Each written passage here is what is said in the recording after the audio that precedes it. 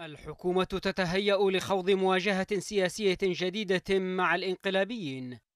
فقد تلقف رئيس الوزراء الدكتور أحمد عبيد بن دغر المهمة الموكلة له من الرئيس هادي وانتقل على الفور إلى العاصمة السعودية الرياض لمباشرة مهمته على رأس لجنة حكومية رفيعة.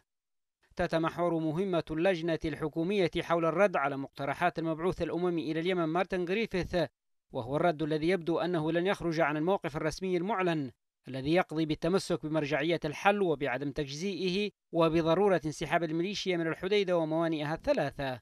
وبالتزامن مع وصول رئيس الوزراء أحمد عبيد بن دغر إلى الرياض وصل وزير الدولة البريطاني لشؤون الشرق الأوسط أليستر بيرت إلى العاصمة السعودية. وهناك التقاه وزير الخارجية خالد اليماني الذي أكد ضرورة انسحاب ميليشيا الحوثي من الحديدة بشكل كامل وتجنيب المدينة آثار الحرب.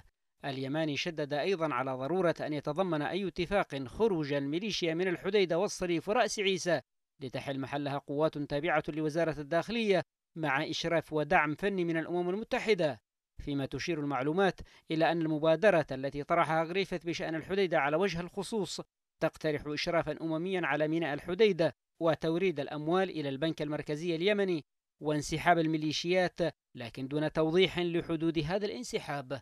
تواجد المسؤول البريطاني الرفيع في المنطقة يشير إلى رغبة بريطانيا في دفع الأطراف إلى التفاعل مع مقترحات المبعوث الأممي مارتن غريفيث في ضوء مؤشرات عديدة على أن الحل المقترح ليس محل رضا الحكومة بشكل كامل كما هو أيضا محل رفض من جانب الميليشيا التي أعلن زعيمها بأن ميليشياته لم تعد تعول على جهود الأمم المتحدة. واعتبر مراقبون أن إقدام ميليشيا الحوثي على اقتحام منزل رئيس الوزراء الكائن في حي بيت بوس بصنعاء ونهب محتوياته.